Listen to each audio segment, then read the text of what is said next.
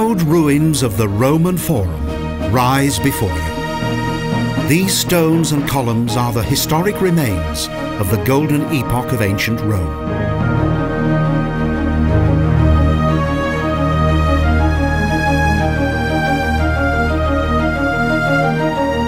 Originally, the area in which the world-famous Forum Romanum is located today was an overgrown swampland.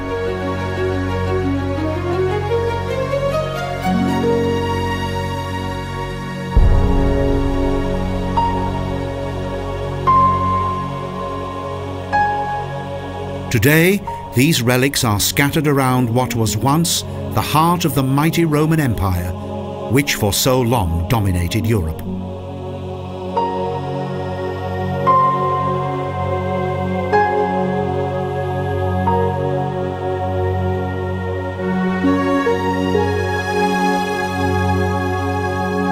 Although the former Senate building, the Curia Julia, was commissioned by Caesar, the exterior of the building originates from Diocletian.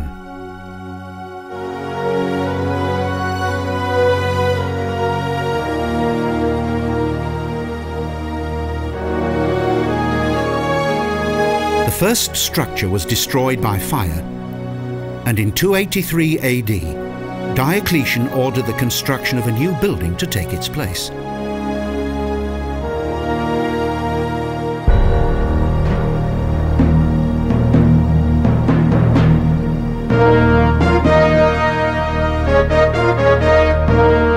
Since the beginning of the 3rd century, the majestic and impressive Septimus Severus Arch has maintained its function as an architectural expression of triumph.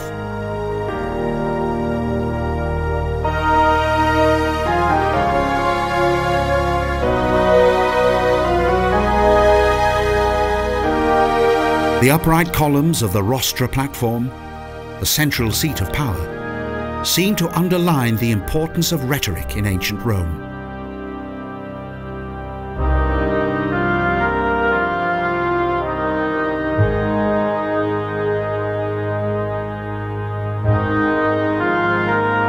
Several ruins bring to life the former glory and splendour of Rome, such as the Temple of Vespasian and Titus,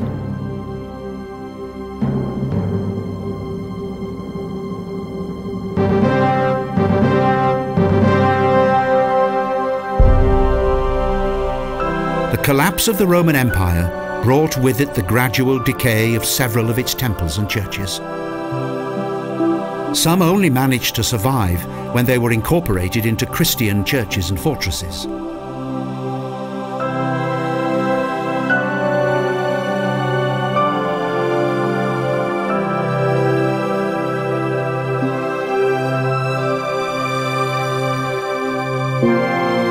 The poor condition of these ancient buildings makes it easy to forget the former magnificence of this place that was once the centre of the Roman Empire.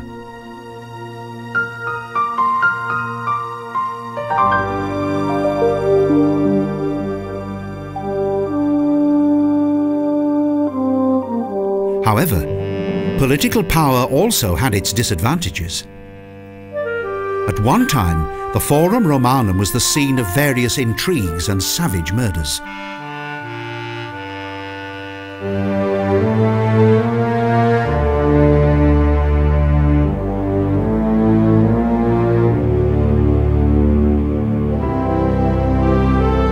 At the zenith of empire, the arts, science and countless newly discovered skills flourished to a degree of sophistication that until then was without equal.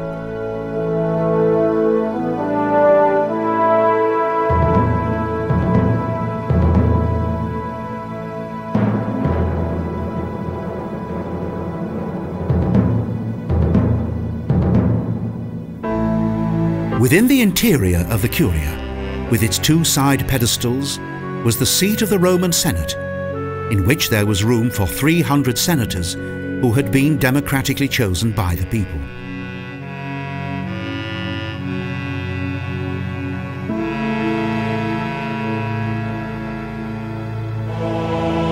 The Romans worked on their buildings, plus the remains of all the post-Christian epochs, with great enthusiasm and diligence.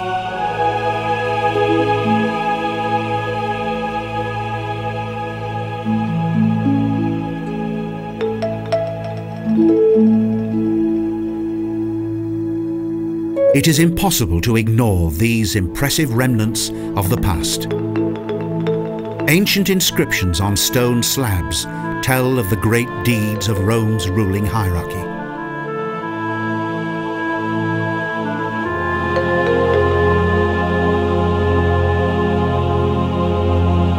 In 148 AD, Antoninus Pius ordered the building of this temple for his dead wife Faustina whom he loved dearly.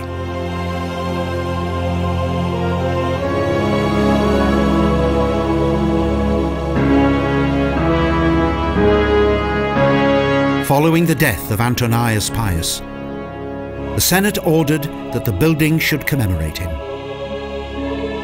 Part of the temple was subsequently transformed into a church.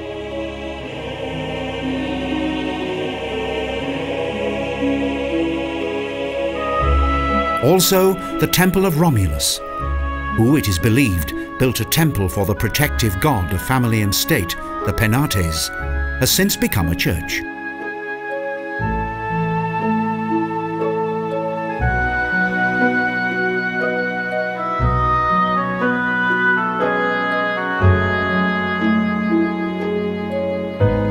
From the 6th century, Christianity stimulated the reconstruction of the temples and thus followed the rapid decay of the Forum.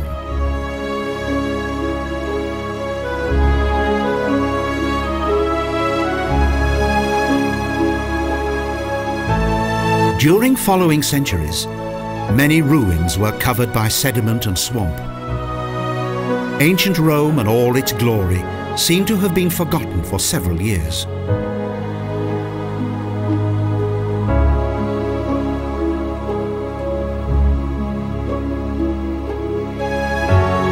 Huge buildings, such as the Maxentius Basilica, named after the Emperor Constantine, are still recognizable today.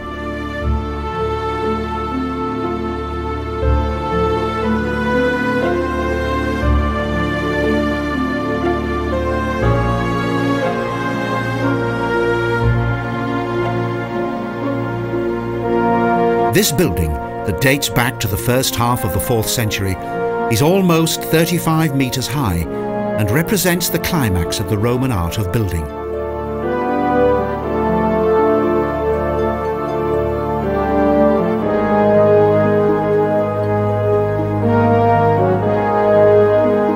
Regardless of its poor condition, the basilica has managed to retain its majestic dignity.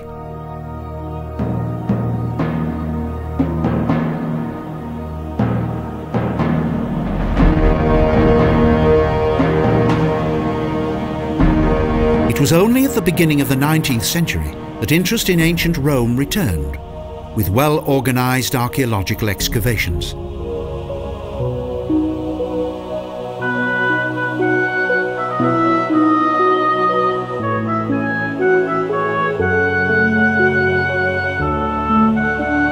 From 1898, archaeologists worked their way through to the oldest and deepest foundations.